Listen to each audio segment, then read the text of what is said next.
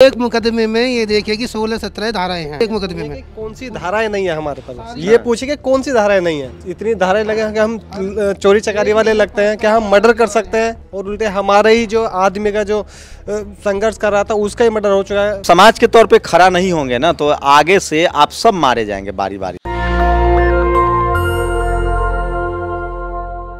नमस्कार, मैं शंभू कुमार सिंह और आप देख रहे हैं नेशनल दस्तक। इस समय मैं हापुड़ में हूँ और मैं बार बार कहता हूँ कि सोशल मीडिया अगर नहीं होता तो हमारे दुख, तकलीफ़, सफलता की कहानी आप तक नहीं पहुँचती। 2018 में एस सी एक्ट को लेकर एक मैसिव प्रोटेस्ट हुआ था। एस सी एक्ट खत्म कर दिया गया था। सुप्रीम कोर्ट से देश भर में युवा सड़कों पर उतरे, प्रोटेस्ट किया और उसकी मार आज तक झेल रहे हैं। सोचिए 2021 है ये 2021 खत्म होने वाला है। उसके बाद भी लोगों पर एफआईआर है, नौकरियाँ नहीं मिल रही। दो ऐसे युवा मुझे मिले जिनको यूपी पुलिस में नौकरी लगी थी, रेलवे में नौकरी लगी थी, उनको मना कर दिया गया है। अब वो सोशल मीडिया का इस्तेमाल कर रहे हैं। मेरे कैमरा पर्सन दिखाएँगे आपको। देखिए, सब लोग ट्विटर पर हैं और इस समय ट्रेंड करा रहे हैं। विकास दयाल है मेरे साथ, जो मेरे साथी पत्रकार भी रहे हैं। उन्होंने इन सब लोगों को जमा किया और ये तमाम जो युवा आपको दिख रहे हैं, ये सब के सब जो हैं इन पर एफआईआर दर्ज किया गया था केस दर्ज किया गया था। छात्र हैं प्रोफेशनल्स हैं कोई लैब टेक्नीशियन है सब पर एफ़ सोचिए इस देश में डेमोक्रेटिक तरीके से आंदोलन होता रहा। उस आंदोलन को सुप्रीम कोर्ट के फैसले को पार्लियामेंट में बिल लाके अ, अ, वापस किया गया। लेकिन अब अब कहा जा रहा है कि हज़ारों ऐसे युवा हैं जिन पर आज भी केस दर्ज है। निधि दिखाएँगे आपको कैमरा पर्सन दिखाएँगे क्या नाम हुआ? मेरा नाम अजय कुमार है। हाँ। मेरे पास एफ़ आई लगा हुआ अभी भी कितनी रोज कोर्ट जाना पड़ता है? रोज तो नहीं वो मतलब जो है तारीख पे जाना पड़ता है जो। अभी भी? अभी। क्या करते हैं रिंकू? अजय नाम है मेरा अजय। अजय क्या करते हैं अजय? मैं स्टील कंपनी में काम करता हूँ मैं। तो रिंकू आप भी को भी जेल में डाला गया था? आप बच गए थे आपका क्या नाम है? अनुराग कुमार सामाजिक आपको भी पर कंप्लेन हुआ था? जी मैं बीमारी में से विधानसभा अध्यक्ष था और मैं इनके हाथ नहीं आ पाया। नहीं नाम मेरा भी दर्ज था उसमें। हम्म, आपका क्या नाम सर मेरा नाम पवन कुमार है। हाँ। मेरे पे भी केस दर्ज है। अभी भी है अभी भी है। चल रही है। जी क्या करते हैं? जी मैं इंटर इंटर पास कर रखी है मैंने। अब मैं पढ़ाई लिखाई कर रहा हूँ जी। हैं? आपका क्या नाम है? मेरा नाम सर अरुण कुमार है। मैं यूपी मेरठ से हूँ। मैं एलजी सर्विस सेंटर पे जॉब करता था एसी फ्रिज का रिपेयरिंग करता हूँ मैं। तो मैं जैसे ही कंप्लेंट पे जा रहा था, रास्ते में उन्हें जो भी मिला रोड पर, चाहे वो खाना खाने जा रहा है, चाहे किसी काम से जा रहा है उन्होंने को रोका, गाड़ी में बैठाया और पिटाई की और अपने थाने में ले गए। मेरे को एक रात उन्होंने थाने में रखा, पूरी रात पिटाई की और रात में ही कोई दो ढाई बजे के करीब उन्होंने तमंचे लेकर आए वो कहीं से तो उन्होंने उसकी फायरिंग की कि दिखा दिया कि चालू हुए हैं तमंचे। फिर वो सुबह हमें मॉर्निंग में हमारे हाथों में रख दिए वो। जहाँ कि हमारे पास ऐसा कुछ भी नहीं था। आप सोचिए इस देश में सब कुछ जाति की वजह से होता है। ये सारा जो क्या कह सकते हैं आप? आपका क्या नाम है सर? फिर सचिन नाम है सर मेरा। आप पर कितने कंप्लेन दर्ज किए थे? एक मुकदमा दर्ज है सर। अभी भी चल रहा है? जी चल रहा है सर। क्या करते हैं हम सर प्राइवेट जॉब ही कर रहा हूँ सर अभी प्राइवेट सेक्टर में कोई मदद नहीं मिली कोई कुछ नहीं। जॉब भी ऐसे मतलब अगर उनको पता लग लग गया कि मुकदमा तो वो भी छोड़ दी जाएगी फिर। आपका क्या नाम है? मेरा नाम सर अभिषेक चौधरी है और मैं मेरठ से हूँ और मैं भी सर भुक्तभोगी हूँ, तीन महीने जेल काट के आए हैं और अभी भी एक एक महीने में तीन तीन चार चार तारीखें हम लगा रहे हैं और बार बार कोर्ट कचहरी के चक्कर लगा रहे हैं और आज सर हम भी यहाँ ट्रेंड में शामिल हुए हैं। यहाँ ट्विटर पर ट्रेंड कराने के लिए दो अप्रैल 2018 विड्रॉल द केस। और यहाँ देखिए आप समाज के तौर पे रुकिए ना भैया। आप समाज के तौर पे खड़ा नहीं होंगे ना तो आगे से आप सब मारे जाएँगे बारी बारी से। एस सी एक्ट बचा सब लोग क्रेडिट ले रहे हैं लेकिन असली भुक्तभोगी हैं बारह लोग। मैं सबके परिवार से मिला हूँ। मैं बारह लोग के यहाँ गया था लंदन से कुछ आर्थिक मदद आई थी। मैंने चेक पहुँचाया था वहाँ। मैं सारे लोगों से मिला हूँ। मध्य प्रदेश में ग्वालियर में छः लोगों की हत्या हुई थी। मेरठ में हत्या हुई थी। पुलिस की गोली से लोग मरे थे। बारह लोग शहीद हुए थे। उसके बाद हज़ारों लोगों पर केस दर्ज है। आपका क्या नाम है? मेरा नाम संगशील बौद्ध है। मैं मेरठ से हूँ। मैं भी उस समय मेडिकल स्टोर पे जॉब करता था। मैं दवाई लेने निकला था स्टोर के लिए। तो मुझे भी रास्ते में सर ठा लिया गया और गाड़ी में पूछा कि कौन सी बिरादरी के हो।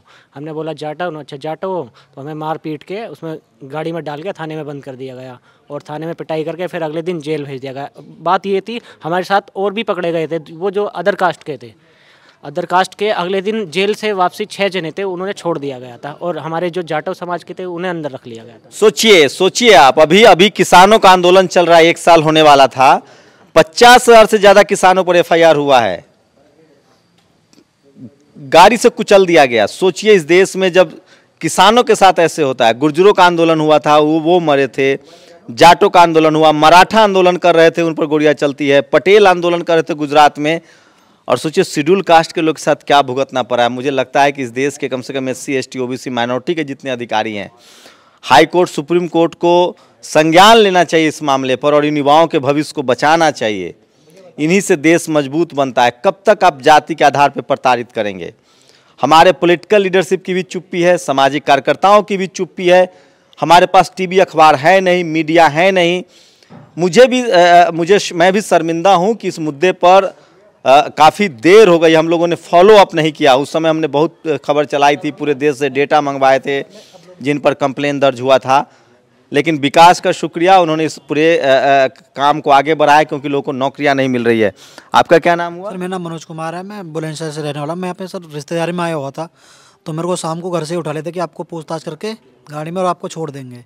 फिर मेरे को मुकदमा करके, सर, मेरे को जेल भेज दिया गया। जिसमें मैं दो अप्रैल में पैंतालीस की जेल काट कर आया। मैं रोज़ मतलब जब भी तारीख होती है महीने पंद्रह दिन में मैं खुर्जा से डेली आता हूँ उनसे मतलब तारीख करने के लिए। सोचिए सब लोग हैं जो जेल जा आपका क्या नाम था? मैं लोकेश अकेला जनपद हापुड़ से। मैं भी दो अप्रैल का पीड़ित हूँ सभी साथियों की तरह। हम लोगों ने पिछले छः महीने से पत्रावली के माध्यम से केस वापसी की मांग की हुई है। आज का दिन हम लोगों ने ट्विटर के लिए भी बोला है। ट्विटर के माध्यम से भी हम लोग पी से सी एम्स है और अपने जितने भी राजनीति करने पार्टियाँ हैं ट्विटर के माध्यम से भी 2 अप्रैल 2018 के मुकदमे वापसी की मांग कर रहे हैं। सोचिए दो अप्रैल है आज 2021 है आपके घर के लोग जेल गए थे। नहीं मेरा नाम कैलाश हल्द्वानी है मेरा कजिन है ये जेल गया था। और इसकी ज्वाइनिंग भी रुकी हुई है अभी। और मैं समाज के साथ खड़ा हुआ हूँ और मैं सरकार से यही अपील करूँगा कि सभी मुकदमे वापस होने चाहिए, इन बच्चों का भविष्य बच सके। क्योंकि अभी जजमेंट आने स्टार्ट हो गए हैं मुजफ्फरनगर में तो लोगों को आठ आठ साल की सज़ा हो गई है। तो तो देखिए ट्विटर पर है, मैं इसको ट्वीट भी करूँगा, मैं आकाश आनंद को ट्वीट करूँगा बीएसपी सुप्रीमो मायावती को ट्वीट करूँगा, रावण को ट्वीट करूँगा, तमाम लोगों को मैं अपने तरीके से भी ट्वीट करूँगा। इधर आ जाइए इधर आ जाइए। आपका, आपकी नौकरी नहीं लग रही है? हाँ सर, मेरा सिलेक्शन होने के बाद भी मेरी कोई मुझे ज्वाइनिंग नहीं दी जा रही है। रेलवे में सिलेक्शन हुआ था साउथ सेंट्रल रेलवे हैदराबाद। लेकिन पर अभी तो मुझे ज्वाइनिंग नहीं दी है, क्योंकि उसमें कैरेक्टर सर्टिफिकेट मांगते हैं। कैरेक्टर सर्टिफिकेट जब बनेगा, जब पुलिस रिकॉर्ड बिल्कुल क्लियर होगा। इसी वजह से मुझे ज्वाइनिंग नहीं दी है अभी तक। तो मैं मैं, देखिए, आप लोग ट्विटर पर हैं, आप लोग तमाम आकाश आनंद ट्विटर पर हैं बी सुप्रीमो मायावती हैं, योगी आदित्यनाथ हैं सीएम भी ट्विटर पर हैं, अखिलेश भी ट्विटर पर हैं, तमाम लोग ट्विटर पर हैं। आ, आप लोग इन लोग को ट्वीट करना चाहिए हैं। आपका क्या नाम है? मेरा नाम अमित कुमार आप पर भी कंप्लेन हुआ था? जिससे कंप्लेंट हुआ था। मेरे को सुबह मॉर्निंग में चार बजे उठाया गया था। पच्चीस तीस पुलिस वाले थे जो बिना किसी के उसके ये बोला गया था कि कुछ वीडियोस हैं आपको दिखाएँगे। और सिर्फ़ आपका यही काम है कि आपको बताना होगा कि कोई गंभीर रूप से घायल है तो वो उनके घर तक पहुँचा दिया जाए। सुबह चार बजे मुझको सोते हुए उठाया गया था जबकि सबसे सुरक्षित स्थान जो आज अच्छा घर घर आके अगले दिन उठा रहे थे पुलिस जी सर उसी रात को सर सुबह मॉर्निंग में मतलब जाति देख के मोहल्ला देख के? जी सर जी सर वो जाते देखे मोहल्ला देख करके उठाए जा रहे थे। हम लोग ना पाकिस्तान की बात नहीं कर रहे हैं ना अफ़गानिस्तान की ना किसी मुसलमान कंट्री की। ये सब कुछ हुआ है यूपी के हापुड़ में और देश राजस्थान मध्य प्रदेश और यूपी में सबसे ज़्यादा लोगों ने इसका दंश झेला है। आप पर भी हुआ था कंप्लेन नहीं। चलिए तो और और भी ये हैं? मैं मदन लाल मुरादपुर गाँव से हूँ हापुड़ का निवासी हूँ रहने वाला। सर मेरे साथ में इतनी बड़ी पीड़ा हुई थी इस मामले में। मेरे यहाँ पे गाड़ी कम से पच्चीस तीस गाड़ी मेरे घर पे आई थी पुलिस की। और चारों तरफ़ से पूरे गाँव को घेरने के बाद में मेरे घर के चारों तरफ़ से पुलिस ने उठा के ले गई।